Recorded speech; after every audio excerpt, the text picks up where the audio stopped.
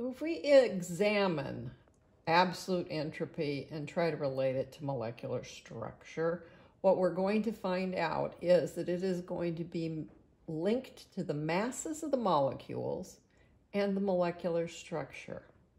The bigger the molecule, the more the entropy value will go up.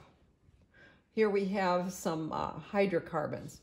We have methane, ethane, propane, and butane. As you can see, as you go up, increasing the numbers of carbons and hydrogens, the value of S is going to go up as well.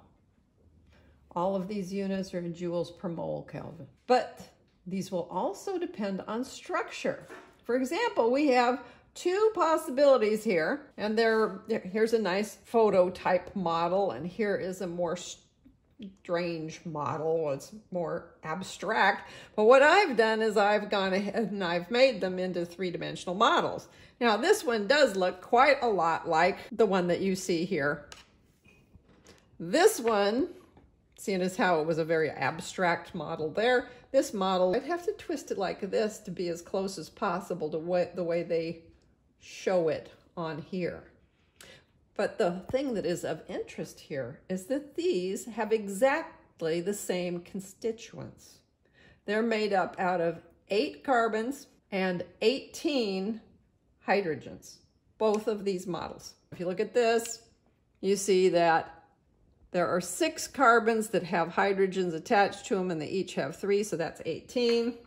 If you look at this, you see 2, 4, 6, 8, 10, 12, and then the ends for 15 and 18. So it's the same exact constituents here. However, if you go and you look up the numbers for the standard molar ent entropy, you find out that the one for octane is significantly higher than the one for the tetramethylbutane. Well, why is that? Let's start thinking about how much motion these can actually do. And we find out there's just not that awfully much that this can do. It, even if I change something, it still looks basically the same.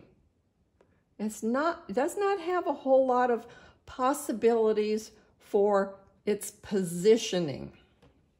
On the other hand, this octane, I can twist like that, but then I, at the same time, I can twist this one, then still twist this one. And then I can twist all three of them and then twist this and twist that. And I can do that all the way through and I have a lot more conformations that I can create with this one than I could with the tetramethylbutane. So this explains why the entropy is higher for the octane even though they have the same constituent elements. Another thing that is interesting is to consider a couple of the different possibilities. How does carbon exist in the world? One way it exists is as diamonds, and another way is as graphite. Diamonds have this structure. It's a three-dimensional structure where each carbon is attached to four other carbons in a lattice. Graphite, yes, there's a lattice, but the layers are actually separated from each other.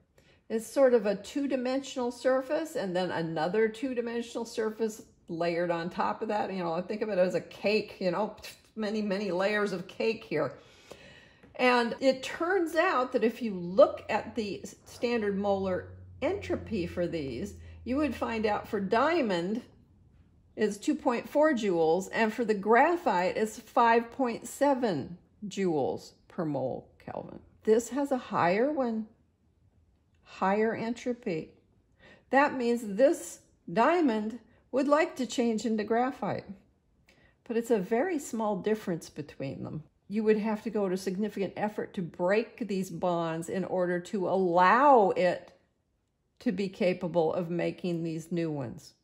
So there's a big barrier to this changing spontaneously into that. What this is telling us is that this is the more stable configuration. This is what we would expect to find. And yes, you're going to find a lot more coal out there in the world than you're going to find diamonds.